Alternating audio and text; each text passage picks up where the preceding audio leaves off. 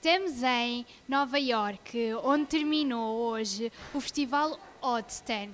Mais de 350 mil pessoas na história, jovens viveram, uh, vive, vieram celebrar a música e a paz. Os maiores nomes do rock, rock and roll passaram pelo palco durante este fim de semana. Este foi um dos maiores eventos de música em todo o mundo. Por agora é tudo, mas a reportagem a partir de Nova York.